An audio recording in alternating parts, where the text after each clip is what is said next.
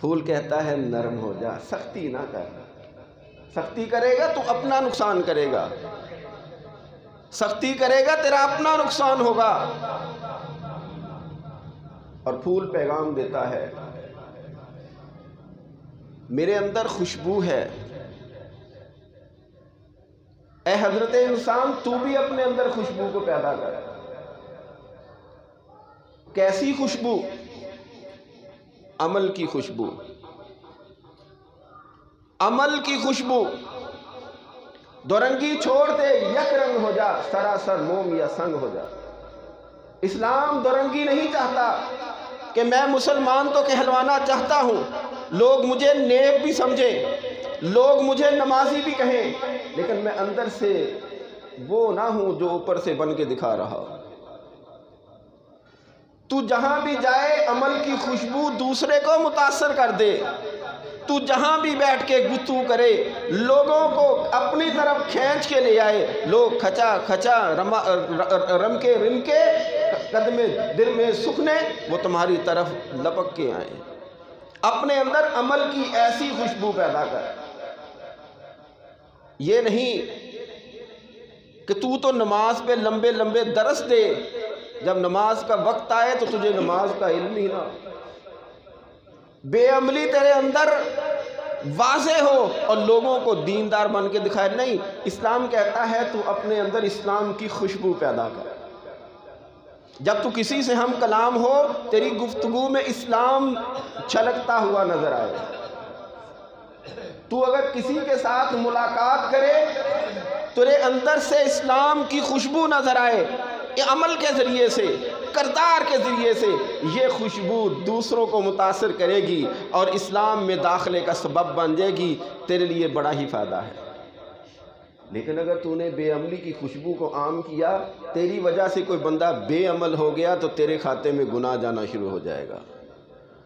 ए हज़रत इंसान, फूल कहता है, मेरे जैसी खुशबू पैदा कर। वो खुशबू जो सहाबा किराम के अंदर मौजूद थी, मेरे नबी के पास बैठ कर के दीन की तालीम हासिल करते और फिर दूर दराज इलाकों में जा कर के नबी मौज़म सल्लल्लाहु अलैहि वसल्लम का पैगाम पहुंचाते। ये जो हदीस है ना खैरकुमन तल्लमकुरान हो तुम में बेहतरीन इंसान वो है जो कुरान सीखता है, सिखाता है।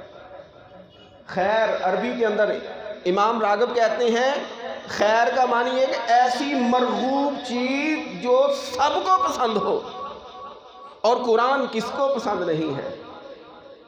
अल्लाह की किताब किसको पसंद नहीं है?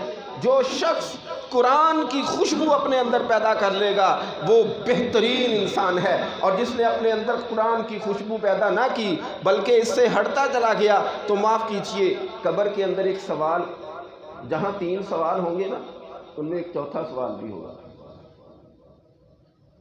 जब सारे सवालों के जवाब दे देगा इंसान, सही, फरिश्ता कहेगा वमा युद्री। तुम्हें इन सारी चीज़ों का कहाँ से पता चला? वो कहेगा किरा तो किताब अल्लाह फ़ामन तो भी वसत तक मैंने अल्लाह की किताब को पढ़ा, मैं उस पर ईमान लाया, मैंने ईमान लाने के बाद अमल किया, तस्दीक की। तब मुझे इन चीज़ों का पता चला।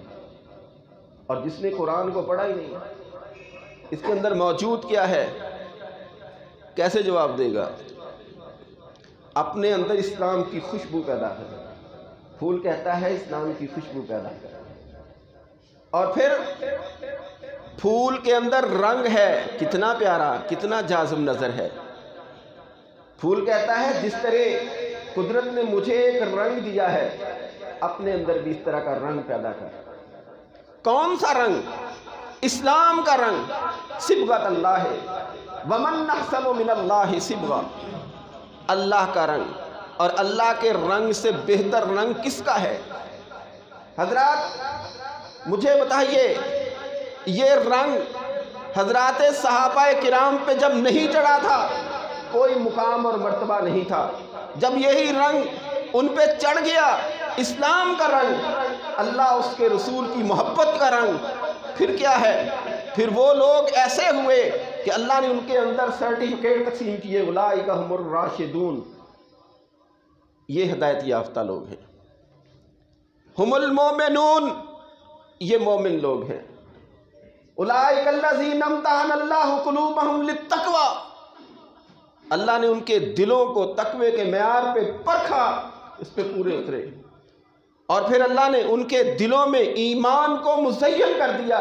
वकर रहा कुफरा वल फसूक वल सियान और अल्लाह ने कुफर, बगावत, बुराई, गुनाह, छोटा हो या बड़ा, हर एक की नफरत पैदा करती ये है वो रंग अब साहबा कराम रिजवान रही मजमाई जहाँ भी जाते हैं, इस्लाम के एक तर्जमान की हैसियत से सामने आते हैं।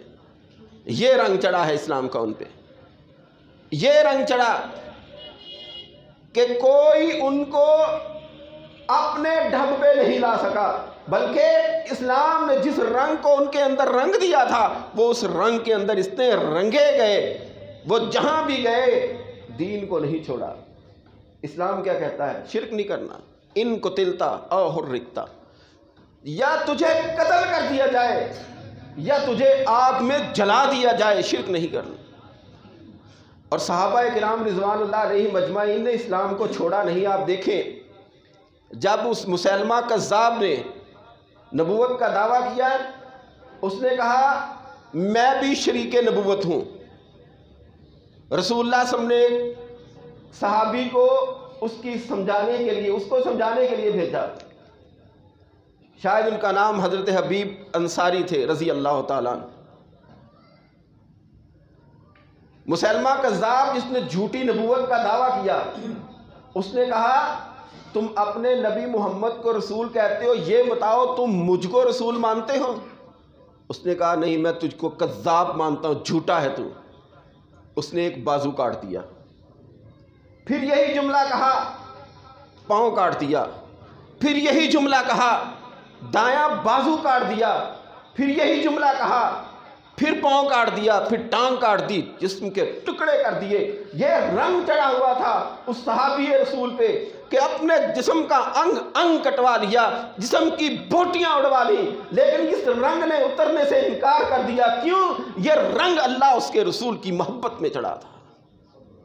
अल्लाह उसके रसूल की मोहब्बत में चढ़ा था, सल्लल्लाहु अलैहि वसल्लम। ऐसा सहाबा पे रंग है। आप देखें हज़रत अली रज़ी अल्लाह ताला उन्होंने अपने दुश्मन को पे कब्ज़ा कर लिया है और उसको मार रहे नीचे गिरा के उसने मुँह पर थूक दिया तली ने छोड़ दिया।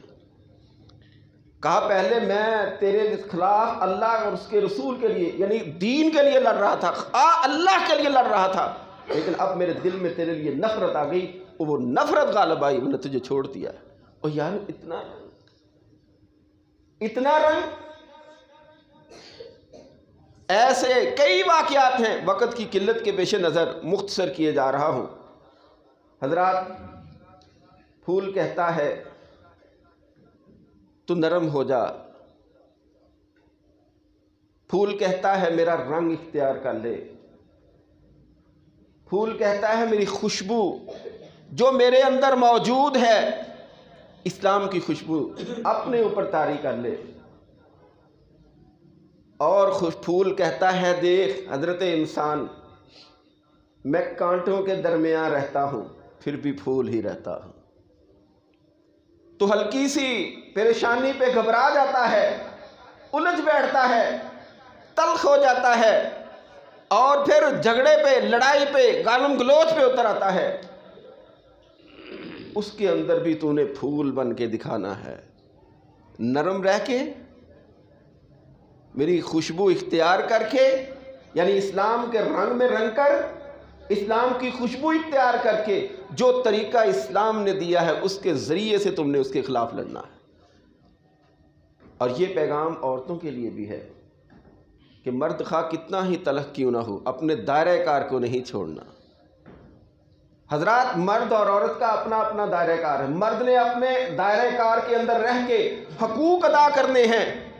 उसको जन्नत मिलनी औरत ने अपने दायरे कार में रह के हकूक अदा करने, उसको जन्नत मिलनी हदीस के अंदर आता है ना, नबी आलतम ने इर्शाद फरमाया कि ऐसी औरत जिसका शोहर उससे नाराज़ था और वह मर गई तो जन्नत की खुशबू नहीं पाएगी। अब मर्द ये ना समझे कि मेरी वजह से उसको जन्नत मिलनी थी, मैं तो फिर जनती है ना।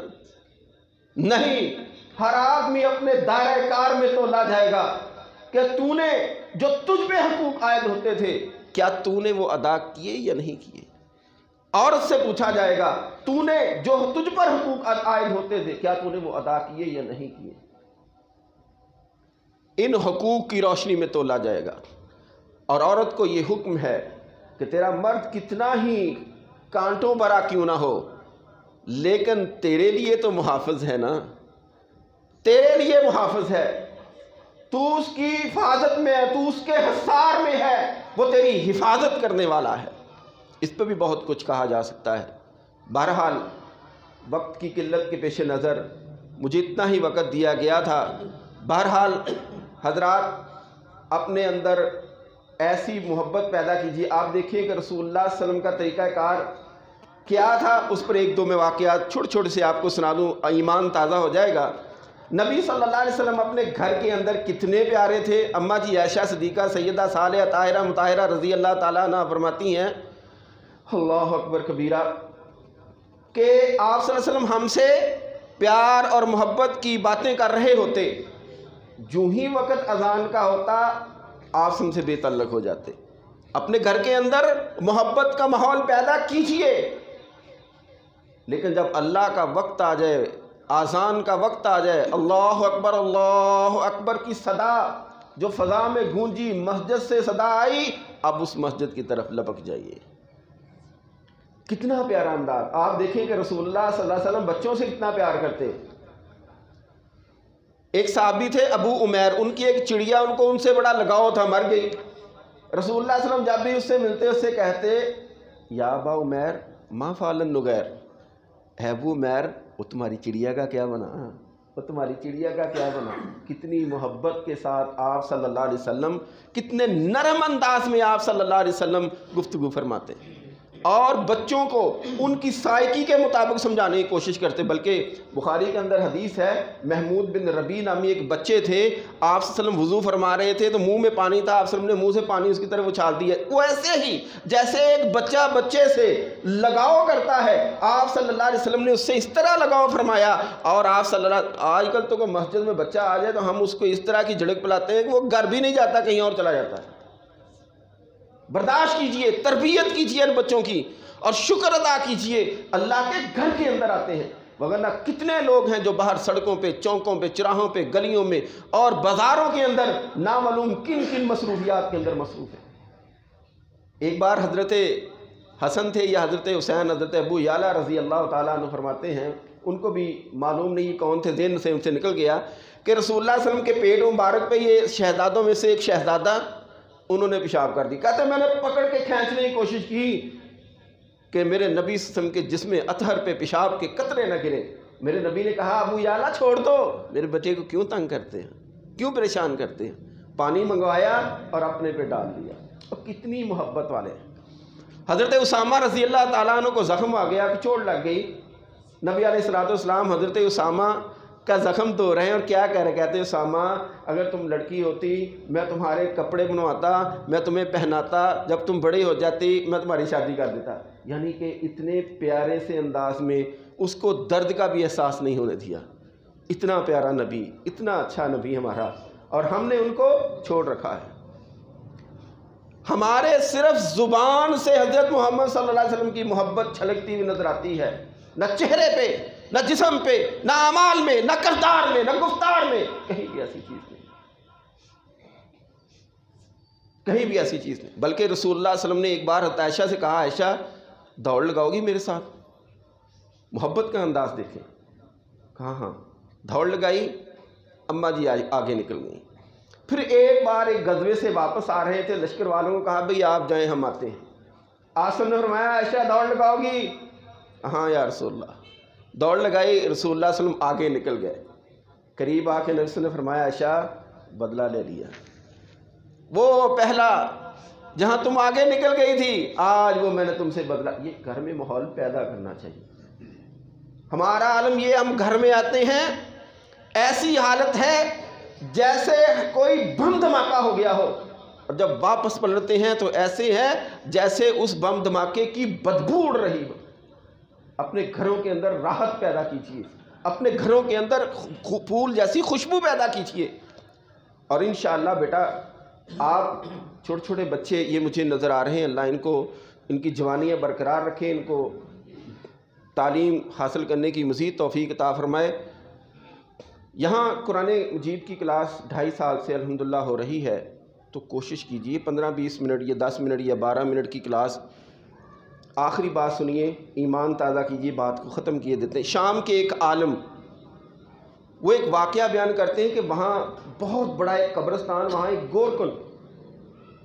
वो कहता, मेरे पास एक औरत आई, उसने कहा, जी कब्र बनानी है। कहते, मैंने बना दी। मैत आई। जब मैंने कहता, उसको नीचे लटाया, अचानक कब्र ताहद निगाह खुल गई। फरिश्ते आए और उसको मैयत को मेरे हाथ से ले गए। और मैं बेहोश होकर गिर गया। मैंने लोगों से तस्करा किया। लोग कहते, यार, हमें तो कोई चीज़ नज़र नहीं आई। ये तुम्हारा वहम है। पता नहीं क्या हुआ हुआ तुझे। बात आई गई होगी छः सात माह गुजरे, एक वही औरत दोबारा आई। कहती है कब्र बनानी है। इतने बजे तक आ जाएगी मैयत। ठीक है। कहता, जब वो मैयत आई, मैंने उसको, मैयत को कब्र में रखा। सेम वही मंजर। लेकिन इस बार मैं बेहोश नहीं हुआ। कब्र में मैयत को रखने, दफनाने के बाद वो जब औरत जाने लगी तो मैं उसके पीछे चल पड़ा। मैंने कहा, बहन, मुझे बताओ तो सही, आज से इतने माह पहले भी एक मैयत तुम लेकर आई थी और आप आज भी ये ये मंदिर देखा। रोने लगे। कहने लगे, वो भी मेरा बेटा था, ये भी मेरा बेटा है। उस मेरे बेटे को, वो दीन की तालीम हासिल करता था और ये जो मेरा बेटा अब फौत हुआ है, ये उसके अखराजात उठाता था। उसने गोरकुन की नौकरी छोड़ी, एक मदरसे में दाखिला लिया। वो आलम दीन बतलाते हैं कि फिर वो शाम की तारीख का बहुत बड़ा आलम दीन बना।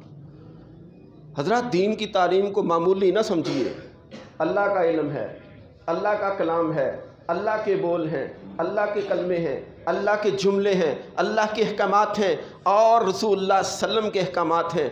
इतना बुलंद कर देंगे आपको, आपने कभी उस बुलंदी का तस्वर भी नहीं किया होगा। आँखें बंद होने की देर है, आँखें खुल जाएँगी। आज हमारी आँखें बाहर खुली हुई हैं, लेकिन ये आँखें बंद हैं। जब हकीकत में बंद हो जाएँगी दुनियावी इतबार से तो दीनी इतबार से फिर हमारी आँखें हकीकत में खुल जाएँगी, जब कब्र में हिसाब किताब होगा।